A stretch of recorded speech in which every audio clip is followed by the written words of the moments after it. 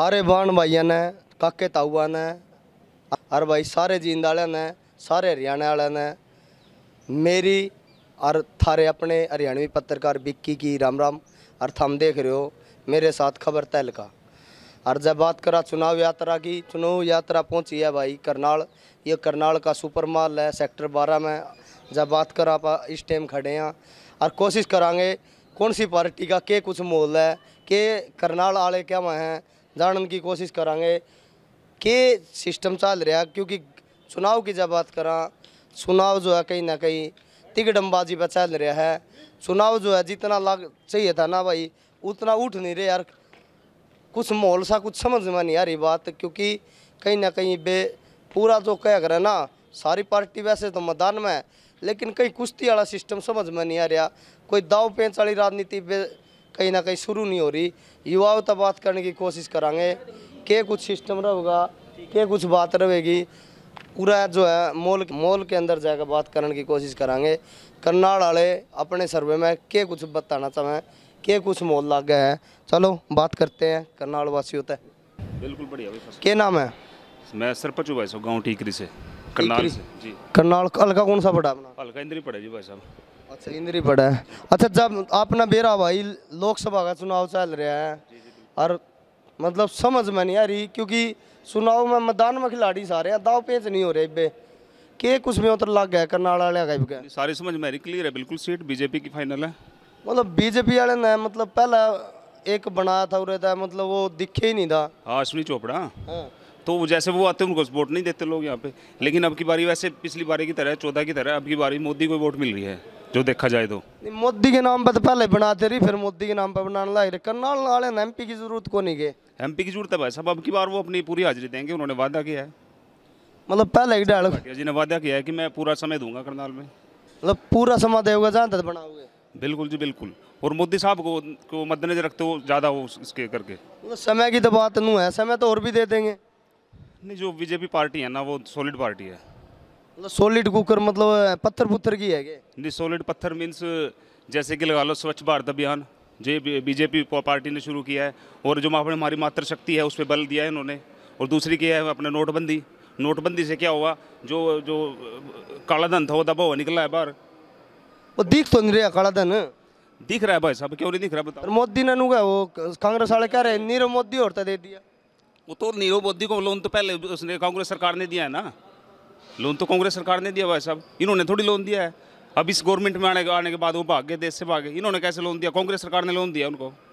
अच्छा। बिल्कुल जी। तो मतलब के गर्मा गर्माई लग गया है? मतलब इंद्री की आप बात करा थारे उरे था मंत्री भी है कर्णदेव। कर्णदेव काम्बोज जी हैं। उससे भी लोग नाराज़ है कुछ काम कुम करवा नहीं रहे हो? नहीं ऐसी कोई बात नहीं भाई साहब।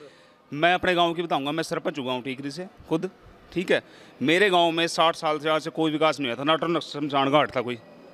ना हमारे गाँव में एंट्री गेट था, स्कूल था हमारा इसका, जो सरकारी, कोई सुविधा नहीं थी आज, इस गवर्नमेंट से पहले बीजेपी से पहले।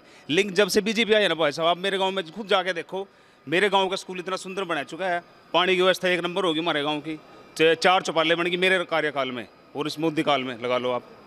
मतलब पूरी फैसिलिटी है। मुख्यमंत्री भाई करनाल का करनाल में जाते तो नहीं काम हो रहे। नहीं उनकी पॉलिसी पता है क्या है गवर्नमेंट की बीजेपी की कि चारों चारोमुखी विकास। ये नहीं कि भाई हमारा सीएम यहाँ से है, करनाल से है तो करनाल का ही विकास होगा। नहीं उनकी सोच ये है कि बीजेपी पार्टी की विकास हो तो पूरे देश का हो पूरे हरियाणा का हो। भाई जब करनाल तक समझावा तो इतने खड्डे आवे मतलब दो मतलब पहला एक घंटा लग गया करता नहीं तीन घंटे लग गए। बस पता क्या है, अब जैसे कि कोई चीज़ पुरानी पड़ी है डैमेज पड़ी है उसको ठीक करने के लिए समय तो लगता है। पाँच साल। साठ साल नहीं पाँच साल नहीं साठ साल बोलो आप कांग्रेस के। साठ साल से कांग्रेस ने वो सड़क आज तक सुधार करे था और बीजेपी आते उस, उस, का- उस सड़क पे कार्य लग चुका आज की डेट में और वो साफ़ सुथरी बढ़ेगी साफ़ सुथरी बनने के लिए टाइम लगता है और टाइम दो उनको बीजेपी को दो। मतलब जो सड़क है दो महीने में तैयार होनी चाहिए वो पाँच साल में नहीं हो रही। ऐसा कुछ नहीं भाई साहब दो महीने में नहीं। आपने सड़क की लंबाई देखी कितनी बड़ी है वो? बहुत बड़ी लंबाई बहुत ज़्यादा है और काम उस पर चल रहे हैं। हम भी गए थे मेरे साथ चार पाँच दिन पहले मैं भी गया था। मैंने भी देखा भाई वाकई में काम हुआ है। लेकिन काम होगा समय तो देना पड़ेगा। नहीं जीन तय सब जो है सफेदों तक का मैं बात करूँ। चुनाव आते ही एकदम बना दिया। दस दिन में सड़क तैयार होगी करनाल तय जो है असंध क्यों नहीं तैयार हो रही? बस टाइम लगता है ना टाइम लगता है। टाइम तो देख लगेगा भाई साहब। ये तो है नहीं चुटकियों में तो काम होता नहीं। मतलब आप भी साठ साल मांगोगे नहीं साठ साल नहीं। पाँच साल और दे दो। पाँच साल और दे दो क्योंकि मोदी नु को तो सेट भी नहीं दे दो। क्या नाम है भाई साहब अपना? मुकेश भाई। कहाँ से हो आप? मैं कैथल ਦਾ कैथल से? हाँ जी। मतलब कैथल वाले क्या करेंगे? कैथल वाले मोदी ने बनावांगे और क्या करेंगे? मतलब ये सूरजे वाला दूँगा मैंने प्लास्टिक की सड़क पे छाद दी होड़ा कुछ नहीं कर रहा ना कैथल में थोड़ा बहुत कर रहा उसका के बंद रही है भाई फिर।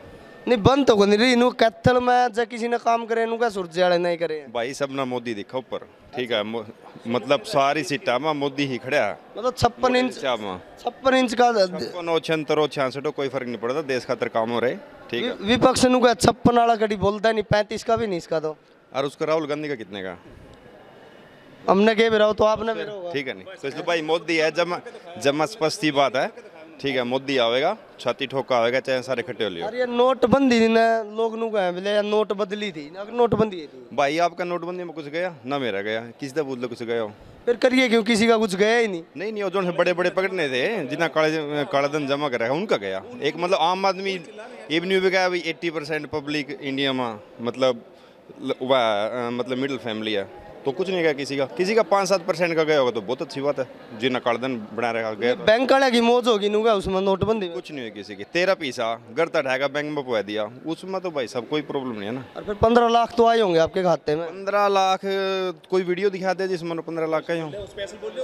नहीं बोल रहे ना। नहीं फिर खुद वो तो भाई एग्ज़ाम्पल है ना। वो तो एग्ज़ाम्पल है ना। भाई साहब मैं तो ऑस्ट्रेलिया का समर्थन करना रहा मेरे तो वोट भी नहीं हो रहा लेकिन समर्थन करना रहा स्पेशल ला भाई यो छोरा भाई कैथल यो ऑस्ट्रेलिया था लिए मोदी ने बनान। भाई जब ऑस्ट्रेलिया था लोग आ लिए तो मतलब हम समझो ना के सिस्टम चल रहा राजनीति में अतिक डंबाजी लाग रही ऑस्ट्रेलिया तक के आदमी उठ लिए मोदी ने बना विदेश में ढंग के यो ऑस्ट्रेलिया में मोदी कदे ऑस्ट्रेलिया जा रहा है कदे कड़ी जा रहा है कदे कड़ी जा रही है क्या चक्कर है? पता है क्या मोदी एक ऐसा बंदा है जो पहले देश में सिस्टम है नहीं। भाई वहाँ डिवॉल्व क्यों है? उसने लेने की कोशिश कर रहा ये कांग्रेस तो नहीं गया भाई ना बैंक में खाता खुलवाओ ना यू करो ना वो करो। ठीक है मतलब रीस कर रहा है पहले रीस कर रहा है इसीलिए बाहर का हर एक बंदा मोदी ना मतलब ये नहीं कहेगा भी मोदी सही है। टैक्स वो जीएसटी हो कुछ भी हो ठीक है बाहर ये सारा सिस्टम है ठीक है लेकिन कांग्रेस बोल दिया नहीं हम आपको बहत्तर हज़ार देंगे ये करेंगे वो करेंगे। तो कोई कोई मतलब सही नहीं है ना। मतलब ग्राउंड रियलिटी की बात करा मतलब विदेशों मोदी जावे है। मतलब आप भी कितने सालों से रह रहे हो वहाँ? अब मतलब दस साल से रह रहे हैं भाई कह रहे हैं। मतलब कितना फ़र्क लग गया है जब तक मोदी बन रहा अभी देश में? भाई देश का सिस्टम बनने लग रहा है लेकिन देश बहुत बड़ा है इतना भी नहीं है कि पाँच साल में सब कुछ कर देगा। नहीं मतलब हमारी वैल्यू कितनी हो रही है ऑस्ट्रेलिया में? बहुत ज़्यादा बहुत ज़्यादा। हर एक गोरे ने नहीं पता भाई इंडिया का प्राइम मिनिस्टर कौन है? ठीक है इज़्ज़त है। हर चीज़ में। पहला भी थी न्यू नहीं अभी पहले बिल्कुल नहीं थी सब कुछ मोदी ने ही कराया लेकिन बहुत ज़्यादा फ़र्क पड़ा। ठीक है डील करना ठीक है भाई उस उन कंट्री के साथ ट्रेड कैसे करनी ठीक है तो सब कुछ मतलब इस इस बात तक कितने सहमत हो कि भाई कांग्रेस ने सत्तर साल में कुछ नहीं करा। देखो भाई कांग्रेस ना नहीं करया या बात भी कोई मतलब नहीं भाई बिल्कुल नहीं करया लेकिन इससे ज़्यादा कर सकी थी कांग्रेस।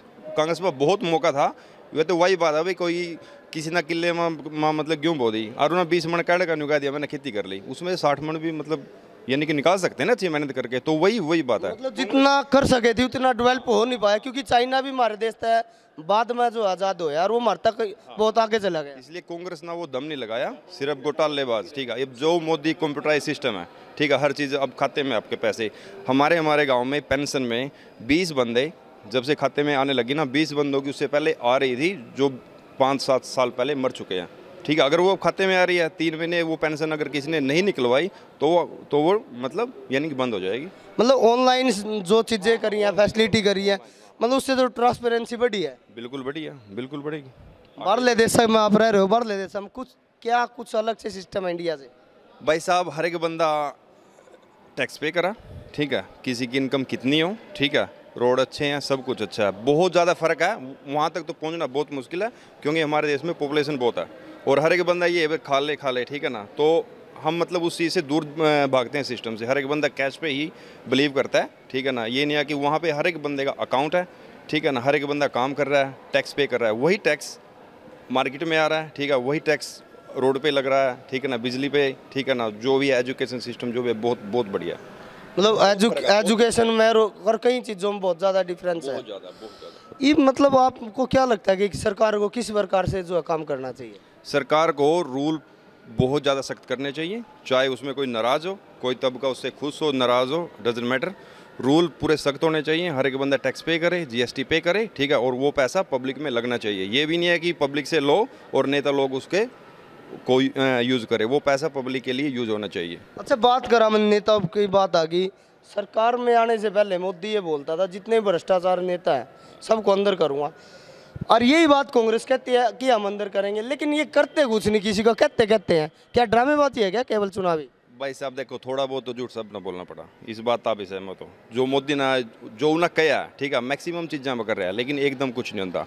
ठीक है, नेता नूता तो जब सिस्टम ही स्ट्रांग होएगा तो नेता भी सीधे हो जाएँगे। नेता नहीं है सीधे, चाहे कोई मोदी का नेता हो या कोई कांग्रेस का हो, ठीक है। कांग्रेस वाले ज़्यादा करप्ट हैं, इस वाले नए नए हैं, आगे पता चलेगा। लेकिन अगर न्यू चलता रहे, मोदी ऐसा बंदा है जो अपने नेता ना भी, ठीक है, अंदर करने का दम रखा। कांग्रेस वाले तो कुछ कर देनी है। ठीक है ना? मतलब देश को कहीं ना कहीं मोदी की दोबारा ज़रूरत है। आपके हिसाब से? अच्छा बात करेंगे हमारे साथ क्योंकि चालीस परसेंट महिलाओं की भी देश में भागीदारी है। महिलाओं से की भी ज़रूरी है। क्या नाम है जी? कोई बात नहीं क्या नाम है जी? सुनीता। कहाँ रहते हो आप? ऑस्ट्रेलिया। आप भी ऑस्ट्रेलिया में रहते हो? मतलब आपकी वोट नहीं है? नहीं मेरी वोट नहीं है यहाँ। दोहरी नागरिकता नहीं है आपके पास? नहीं दोहरी इंडिया दोहरी नागरिकता देता नहीं है। नहीं मतलब यहाँ भी और वहाँ भी हो? नहीं इंडिया दोहरी देता ही नहीं है। अच्छा। तो यहाँ की नहीं रख सकते दूसरे कंट्री की अगर है तो। अच्छा अच्छा मतलब एक ही रख सकते हैं। मतलब क्या लगता है आपकी बार आपको कौन सी सरकार आ सकती है? कहा तो कुछ नहीं जा सकता लेकिन लग रहा है कि मोदी आएगा फिर से। मतलब क्यों लगता है? कैसे कहीं आपको क्यों ऐसा लगता है कि दोबारा मोदी आ सकते क्योंकि हर जगह जितना मोदी ने काम किया है जो लोगों के मुँह से सुनने में आ रहा है मतलब माहौल लग रहा है मोदी का। आप कितने दिनों बाद इंडिया में आना हुआ मौका मिला एक साल में। एक साल में कुछ अलग आपको लगा कि कुछ इंडिया में कुछ अलग हो गया? हो वेल एक साल में तो कुछ अलग नहीं दिख रहा पर कंपेयर टू अगर पिछले पाँच सालों में देखे तो हाँ लग रहा है कि ज़्यादा मोदी का है। मतलब आपको मतलब लोगों से सुना है मतलब अपने आप कुछ आपने कोई ऐसी चीज़ चेक करी हो? जैसे चाहे महिला सशक्तिकरण की बात कर ले आप क्योंकि महिला वुमेन एम्पावरमेंट की बात करते हैं। सरकार कहीं ना कहीं दावे तो कर रही है लेकिन आए दिन जो है कहीं ना कहीं क्राइम इंडिया में बढ़ता जा रहा है। उसके प्रति भी गवर्नमेंट को काम करने की ज़रूरत है पर जैसे जैसे चीज़ें मतलब ट्रांसपेरेंसी आती जाएगी हर चीज़ में इम्प्रूवमेंट तभी होगी। एकदम से तो कुछ हो नहीं सकता। मतलब आप भी मोदी के फ़ैन हो। बिल्कुल। वाह सच्चाई इस सच्चाई इन्होंने बहुत ला भाई दिल में भी मतलब अनुमान हो रहा है कि मोदी आएगा जी। मोदी मतलब जो के चक्कर है? मोदी के बहुत बड़े फ़ैन हैं जी हम क्योंकि मोदी ने ही काम करवाए बहुत ही ज़्यादा जी। के काम करवाए? करनाल में तरक्की करवा दी जी ना मतलब के मतलब स्टील का बनवा दिया गया चारों तरफ़ सड़कों पर जाम हुए कराते अब लोकल एरिया में सारी जगह कानून तरीके बढ़िया काम करवाए जी ना सड़का बनने लगी जी पहले ट्रैफ़िक जाम रहे करता ट्रैफ़िक का खुलने लगी जी हर एक जगह कैमरे लगवा दिए जी अपनी वोट बन रही है बन रही है जी वोट बन रही है बिल्कुल मोदी वोट वोट मोदी से ही जाएगी जी अच्छा तेरी तेरी जाओगी घर क्या की सारों की वोट जाएगी जी मोल लोगे कुछ बोलना चाहते हैं ऑस्ट्रेलिया वाले भाई अपने कुछ? अब एक छोटी सी बात देखो। मोदी था पहला M P M L A का मतलब था नौकरी दिवाना ठीक है, किसी ने नहीं था एम एल एम पी कुछ और काम करेगा। ये इसमें देख ले ग्रुप डी में। जमा चाहे कोई कांग्रेसी हो, कोई सी पार्टी का हो, गरीब था गरीब बच्चा लगे, बिना पैसे दे। यू बहुत बड़ा बदलाव है। नहीं, मारे टेम यूँ कहते भाई M P M L A गिला जान पछाण हो तो काम बनेगा। नहीं, अपना बैर जाओ, ना जाओ, दिहाड़ी करो, थारी मर्ज़ी। मतलब इनका बहुत बड़ा बहुत बड़ा चेंज है भाई साहब ये। मतलब ये जो नौकरियों में ब, ब, लोगों को बदलाव दिख रहा है ये ये भी एक कारण एक फैक्टर लगता है बीजेपी के जो है पॉजिटिव कर रहा है। ऐसा ही है। क्या नाम है भाई? पवन पवाना पवाना ये पवाना यहाँ पड़ता है जो? ये हाँ संत के पास पवाना मेरा गाँव है मैं सेक्टर तेरह करनाल में रहता हूँ। ये भी तरह होगा मोदी का। मोदी का तो ब्योंत ही ब्योंत है बाकी का तो लिया सारा साफ़ सुपड़ा और करनाल वाले गया, पहला एक दिक्कत थी कि ना तो इन्हें एम एल मिला और ना इन्हें एम मिला क्योंकि एमपी कई दिनों बाद दिखता था और एमएलए जो है वो मुख्यमंत्री है, उन्हें पूरा हरियाणा देखना पड़ा है। तो करनाल वालों के पास तो दोनों ही चीज़ नहीं थी। करनाल वालों का इससे बड़ा सौभाग्य क्या होगा कि हमारे यहाँ से मुख्यमंत्री है और मुख्यमंत्री को छोटी हस्ती होती है। किसी सीएम सिटी होना और वहाँ पे मुख्यमंत्री का, मैं कहता हूँ महीने में एक दो दो तीन कार्यक्रम तो नॉर्मल मिलने में होते ही हैं। फिर रही बात इतनी बड़ी पर्सनैलिटी है तो ऐसा थोड़ी है कि हर रोज आके बैठे रहेंगे।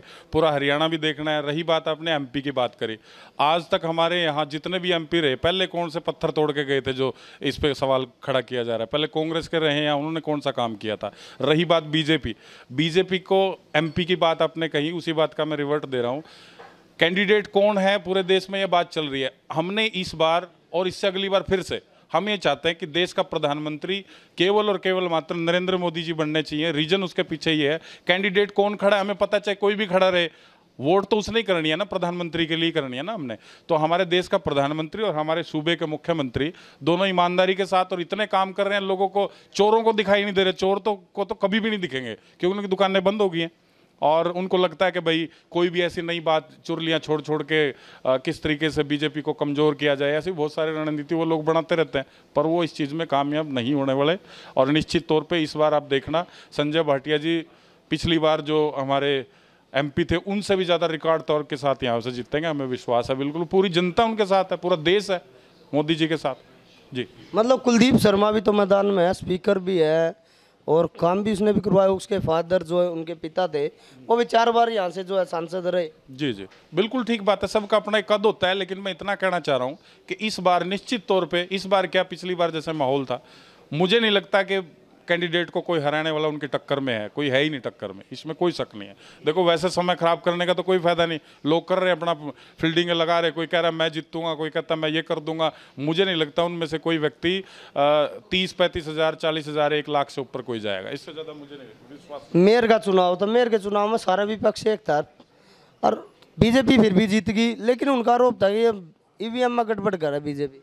देखो जब मोदी जी जीत जाते हैं फिर तो ईवीएम में गड़बड़ है। अभी मोदी जी का काशी विश्वनाथ के वहाँ रोड शो था।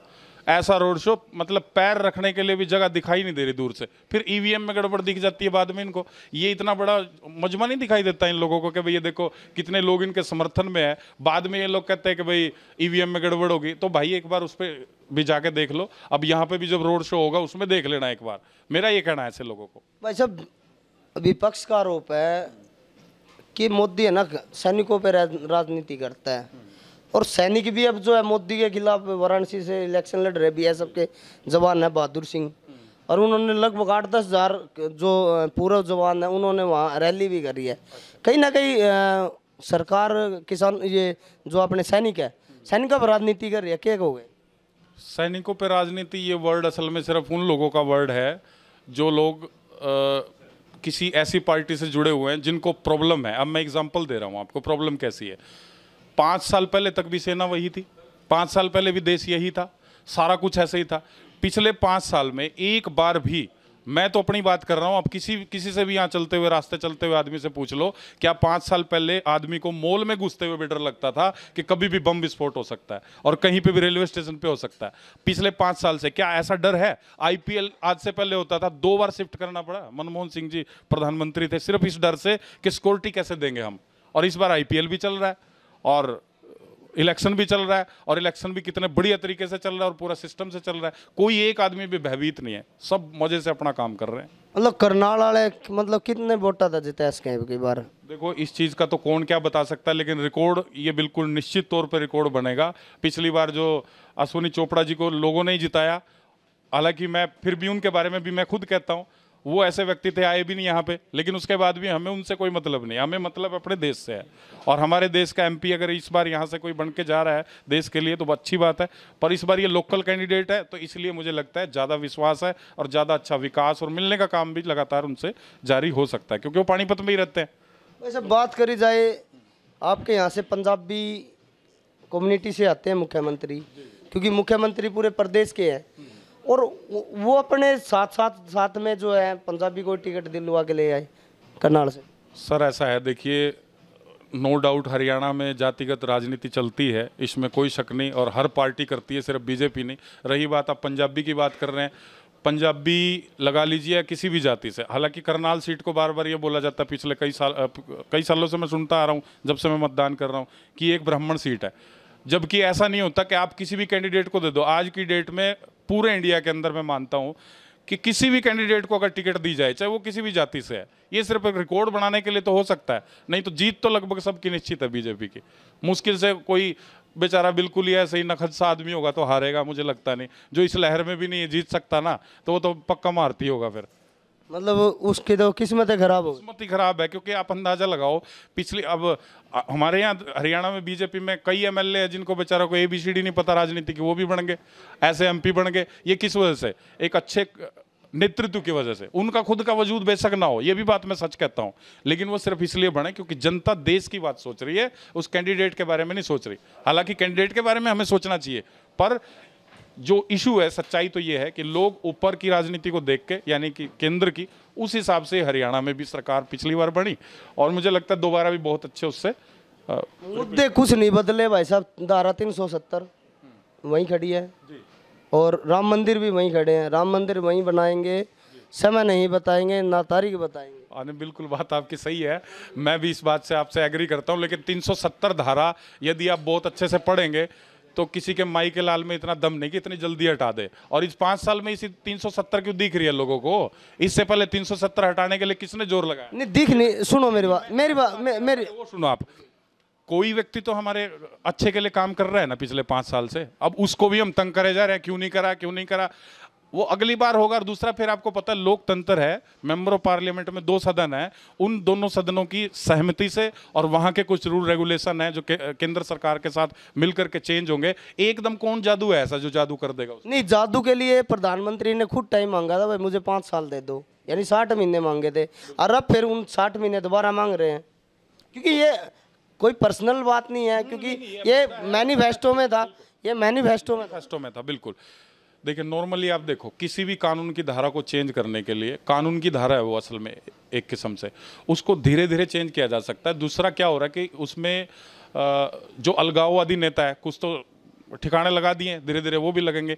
ऐसे जो गद्दार लोग वहाँ बैठे ना, जो देश को तोड़ने की बात करते हैं, उन लोगों को पहले ठिकाना पड़े, ठिकाने लगाना पड़ेगा, क्योंकि वो वहाँ की जनता को भड़काते हैं और वो जनता गुमराह होकर के सिर्फ़ बार बार ये बोलती है कि 370 नहीं हटाना। उस जनता को, बेचारी को पता ही नहीं मेरे हक में क्या चीज़ है। और ये प्रॉब्लम है उन जैसे यासमिन भटकल जैसे लोग हैं, और कई लोग ऐसे पकड़े हैं वहाँ से, जिनकी तसली अब होगी और उनको भी पता चल जाएगा अलगाव कैसे करते हैं, कैसे लोगों को गुमराह किया जाता है, देश तोड़ रहे हैं वो लोग। आपकी लगती सीट था भूपेंद्र सिंह हुड्डा।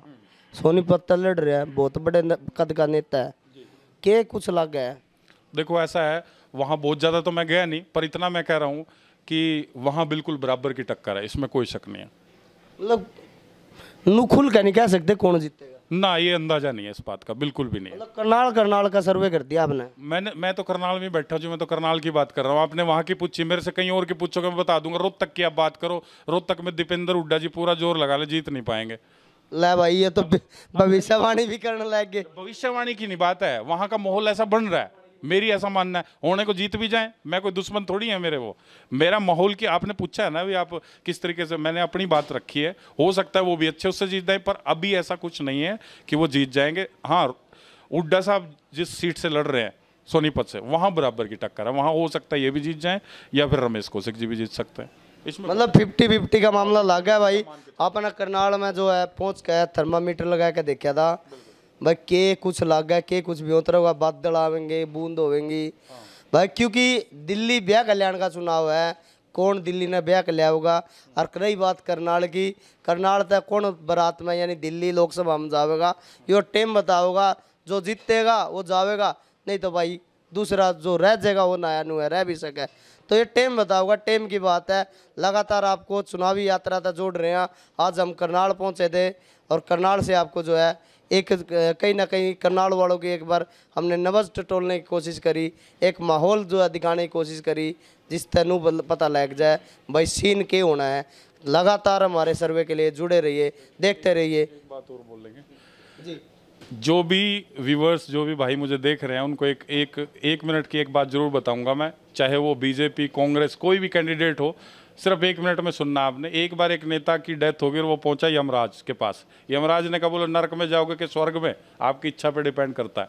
तो उन्होंने कहा, दोनों देख लो, जहाँ आपका मन करे वहाँ चले जाना। तो वो देखने के लिए गए। पहले वो नरक में गए तो नरक में उनके दोस्त बैठे। दारू पार्टियाँ चल रही, डीजे बज रहा, सब मस्तियाँ हो रही। उसको देख के वापस आ गए। और उसके बाद फिर उनको वो स्वर्ग में लेके गए, जहाँ लोग शांत है, मोक्ष की प्राप्ति करके आराम से बैठे हुए हैं। वो भी एक नज़ारा था। लेकिन उससे जब यमराज ने पूछा अच्छा कहाँ जाना चाहोगे आप? उसने कहा, मैं तो नरक में जाना चाहूँगा। और वो अगले दिन जब नरक में गया तो वहाँ कीड़े पड़े हुए, बुरी तरह बुरा हाल हो रखा है। अब वो वापस आया दौड़ के और बोला यमराज को कि आपने तो कल जो दिखाया था, वो तो कुछ और था। आज तो नर्क बदला हुआ है। तो उसने कहा, अब तो आप मतदान कर चुके हो। एक बार मतदान कर दिया, अब हमारी चलेगी, तुम्हारी नहीं। इसीलिए बिकना नहीं है और देश की सोच के अच्छी तरह वोट करना है। वोट आप कहीं भी करें, अपना अधिकार है। लेकिन इनके जो ये चकाचौंध वाली दुनिया दिखाते हैं, ऐसा कर देंगे, वैसा कर देंगे, ऐसे लोगों से जरा बच के रहना। बस इतना मेरा निवेदन है दोस्तों। राम राम। भाई, इसने तो वही चढ़ा पड़ दिया, बाल पबाने वाले ने। जब बात करा, लोकतंत्र और प्रजातंत्र का एक बहुत खूबसूरत सिस्टम है, खासकर हमारे देश में। एक ऐसा राइट्स कि जो हम प्रजातंत्र के अंदर सरकार बदल सकते हैं, वोट का अधिकार बाबा साहब ने हमको दिया हुआ है। और जब बात करा प्रजातंत्र के इस त्यौहार को हमें ज़रूर मनाना चाहिए, क्योंकि 12 तारीख यानी 12 मई को हरियाणा में जो है चुनाव होने हैं और चुनाव के दिन जो है मतदान ज़रूर करना चाहिए। प्रजातंत्र के अंदर, इस आवन के अंदर जो है आहुति ज़रूर डालनी चाहिए हर आदमी को। भाई, हमारी चुनावी यात्रा को आगे भी देखने के लिए लगातार हमारे चैनल खबर तहलका से जुड़े रहे। आपका धन्यवाद।